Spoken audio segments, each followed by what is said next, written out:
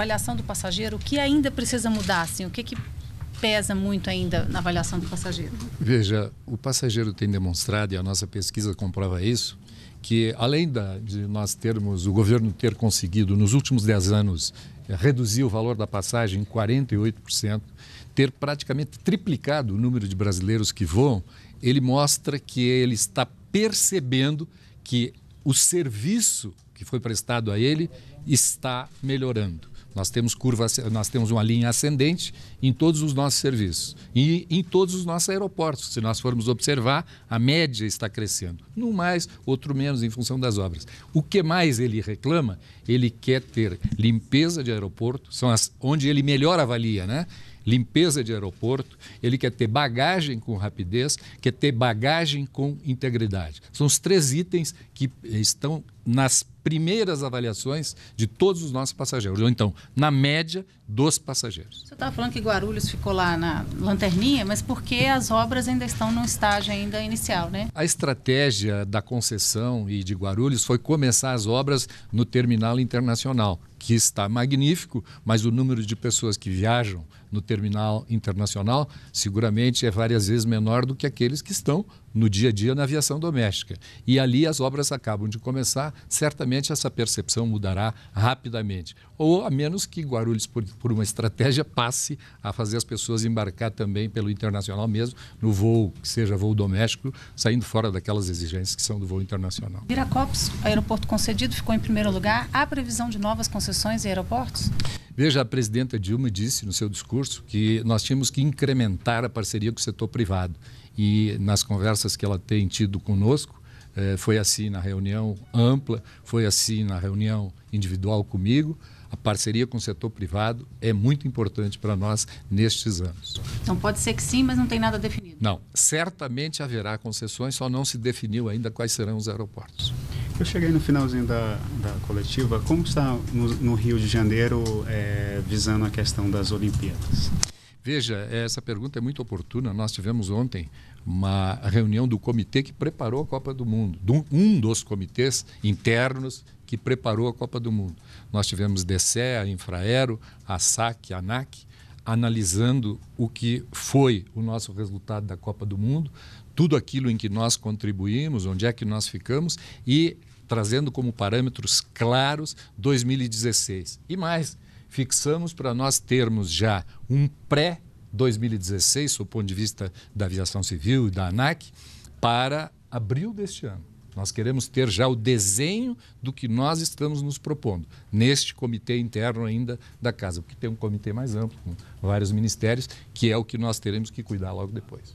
A aviação regional, como é que estão os trabalhos para incentivar a aviação? A aviação regional, prioridade absoluta da presidente Dilma. Ela quer que 96% dos brasileiros tenham condições de viajar a partir eh, também, não só, mas também da aviação regional.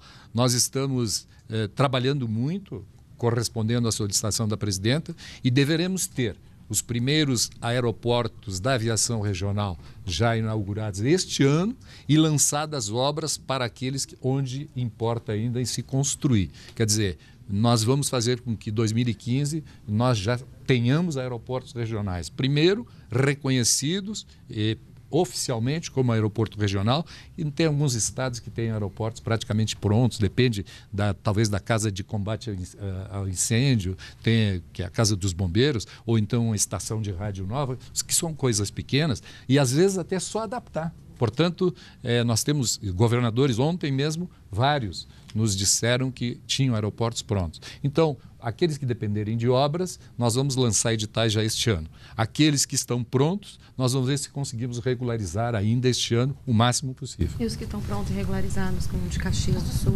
e outros interior, esses vão ter algum tipo de revitalização também? Sim, a revitalização aí é que está. Tem um padrão estabelecido, é no nosso contrato com o Banco do Brasil, está o padrão. Todos que se enquadrarem neste padrão já podem, em tese, ser reconhecidos. Depois, nós vamos começar a cuidar aqueles que precisam de pequenos reparos. Como eu já citei aqui, a questão do combate a incêndio, a questão da, da estação de controle de navegação aérea. Qual que é o aeroporto desses regionais que está mais avançado, ministro, que deve ser o primeiro a começar a funcionar já? É temerário, ano? porque nós temos, se não está funcionando, é porque tem pendência. Uhum. E sempre que tem pendência fora daqui do, do, do, nosso, da nossa área de ação, é temerário fazer afirmações. E depende do Banco do Brasil ou do meio ambiente. E as empresas estão dispostas a operar nesses regionais? Ah, importante. As empresas estão dispostas em operar sem qualquer motivação, sem falar em subsídio, sem falar em nada, em 124, 124 desses 270, as empresas já manifestaram interesse em operar. Ministro, fala rapidamente só sobre o Salgado Filho. Ele aparece entre os cinco ali, né? Acima de quatro. Qual é o destaque dele? Salgado Filho é um dos, se é o quinto, é um dos melhores aeroportos do Brasil. Ele está com um plano de expansão em andamento. É, lá estão sendo executadas obras de expansão no terminal de passageiros, construção do terminal de cargas, é, pátio para a, o terminal de cargas, pátio expansão para o de passageiros, hotel com no mínimo 200 apartamentos, nova garagem com mais de 2 mil vagas, enfim, é um grande empreendimento. E a, e a extensão da pista de, 3, de 2.080 metros para 3.200 metros tem previsão para o início das obras. A Infraero está submetendo ao seu conselho quando é que as obras todas estão em andamento. Todas estão em andamento.